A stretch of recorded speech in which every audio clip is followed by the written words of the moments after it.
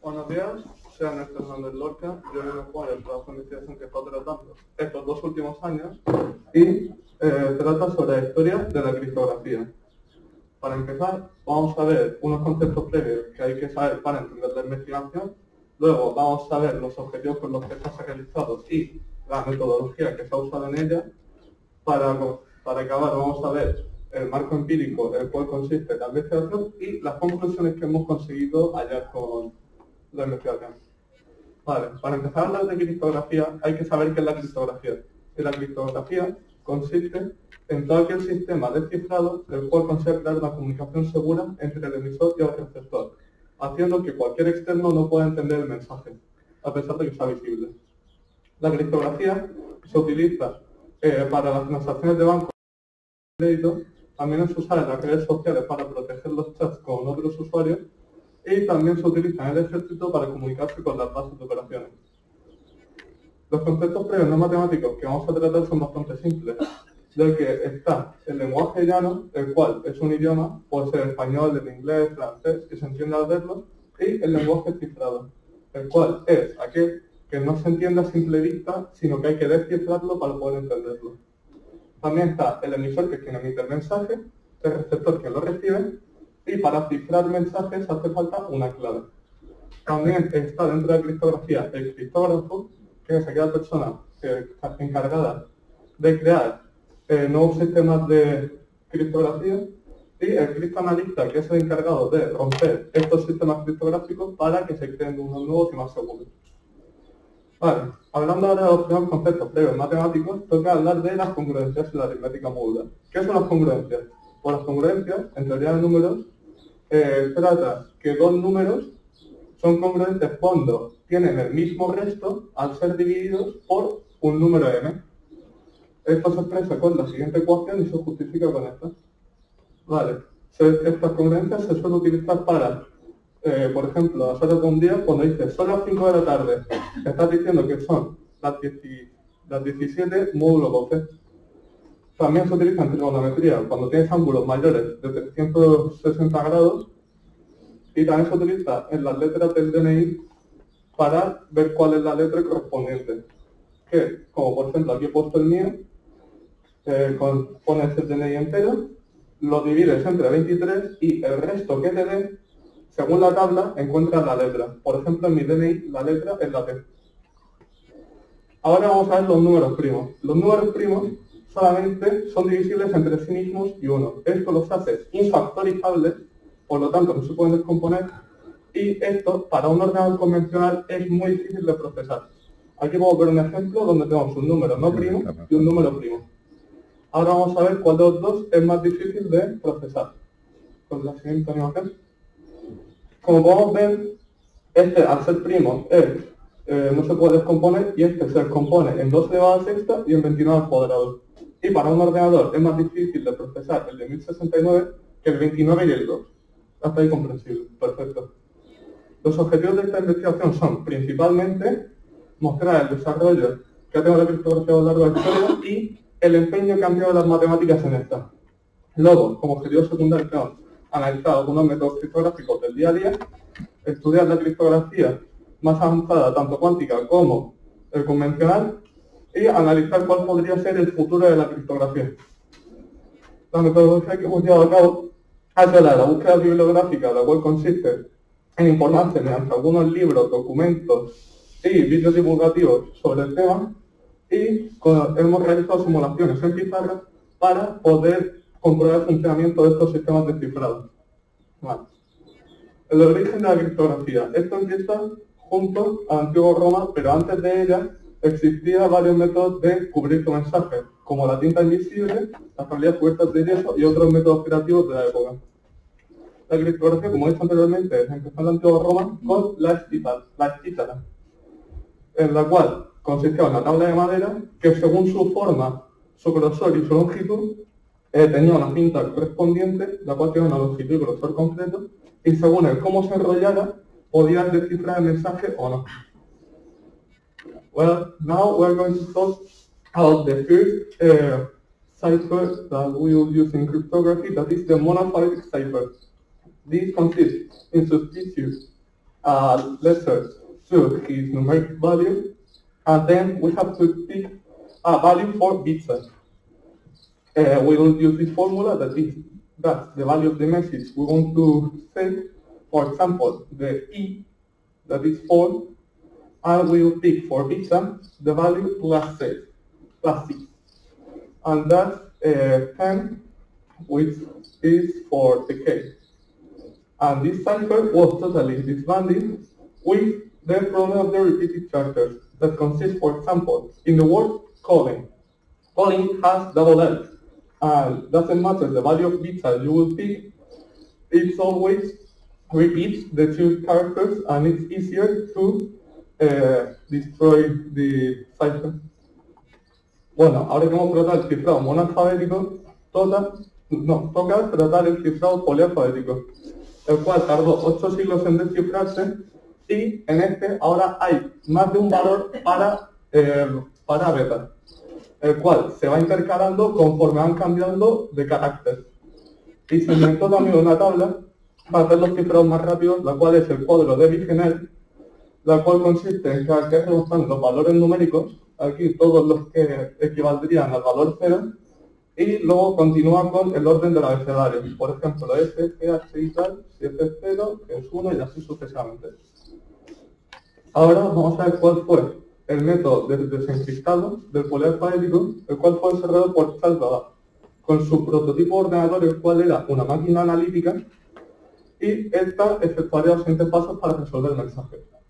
Primero de todo, hay que tener en cuenta que se utiliza una palabra clave, en el ejemplo hemos puesto la palabra muro, que se repite constantemente para ver qué cifrado hay que usar en el cuadro Vigenel. Después, se puede ver en rojo eh, dos cosas comunes, que al haber aquí una frecuencia con la clave, en el mensaje llano, que es la, un determinante, coincide con su, eh, al haberse cifrado. Entonces, él hizo una lista de todos los caracteres que se pedían y sus distancias. Una vez haciendo la tabla de frecuencia, se comparaban los varios lenguajes cifrados que podía haber con el lenguaje llano y si la coincidencia no era clara, se descartaba y se probaba con otra. Ahora vamos a ver un cifrado que era usado por los años de la Primera Guerra Mundial, que no me atrevo a pronunciar. Este necesitaba primero todo el mensaje que querían mandar, por ejemplo, huele a una palabra clave, la cual era gris, por ejemplo, y una tabla de cifrado como esta, donde tanto en una línea vertical como horizontal se pone el nombre del cifrado y se da valores para los cuales primero habría que pillar un valor en vertical y luego en horizontal. Vale, los pasos para cifrar con este mensaje, eh, no, con este sistema, es primero todo sustituir los caracteres del mensaje por los de la línea vertical y horizontal, como hemos dicho antes, quedando así. Luego, se meten todos los caracteres que han quedado aquí en la tabla según la palabra clave. Y esta palabra clave, luego, se pone en, nombre, eh, en, el orden alfabético. Eh, por ejemplo, aquí al poner en orden alfabético, la I y la R se han cambiado de posición y se puede notar en la tabla. Vale. después de la primera reunión, la segunda reunión, y con esto se crea el cifrado enigma. El anterior no fue desencriptado, pero este es mucho mejor y por eso cambiará. Este era el mayor sistema de cifrado de la Segunda Mundial y estaba basado en el disco de Alberti, el cual es una forma sencilla de cifrar alfabéticamente.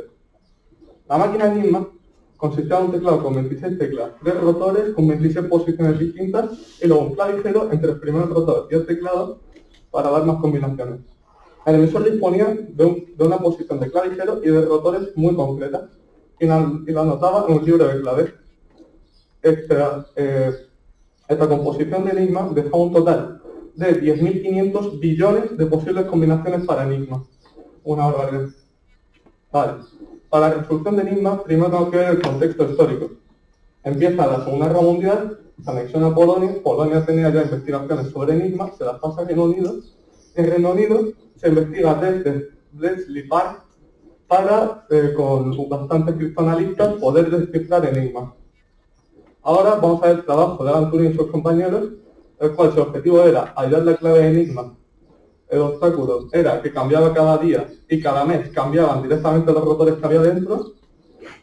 y empezaron a crear una máquina capaz de ello, la cual era el Colossus. Hay que destacar que antes también había unos prototipos que eran bombas y que no eh, desencriptaban completamente, y si se llama bomba. No desencriptaban completamente Enigma al 100%, pero eh, les ayudaría más eh, les ayudaría para poder crear Colossus más tarde. Tristemente, a pesar de que Alan Turing consiguió salvar miles, millones de vidas y acortar la guerra dos años, eh, fue juzgado por culpa de su orientación sexual y fue condenado a una castración química y 10 años después acabaría suicidándose. Vale, ahora vamos a ver un problema que había muy típico en la época, el cual consistía para mandar la clave del emisor al receptor con esta corta animación. Como hemos podido ver, en todo el sistema criptográfico que hemos visto hasta el momento, eh, podía llegar perfectamente el intruso y coger la clave mientras se enviaba y que esta no llegara a su destino. Vale, para esto, más tarde, en, Estados Unidos se creó el algoritmo Diffie-Hellman, el cual consiste en que, por ejemplo, dos personas, Juan y Pedro, cogen cada uno un número primo y luego, eh, según la siguiente ecuación, eh, B es un número primo y A es un número acordado, estos dos números son públicos, se pueden ver, al igual que esta ecuación es pública también, cada uno prueba a cifrar su número y después se los intercambia. Esto es importante. Para después, en la otra ecuación, poder utilizar el número que ellos tenían inicialmente y el número que les ha dado su compañero. Y esto no es casualidad, siempre sucede que tienen el mismo valor al final de todo. En este caso, el valor es 5. Vale. Basándose en este intercambio de claves, se crea el algoritmo RSA, el cual es el mejor sistema de cifrado convencional que tenemos hasta el momento, y se utilizan dos claves, una de cifrado y otra de descifrado. La de cifrado es pública, y la de descifrado es completamente privada. Vale.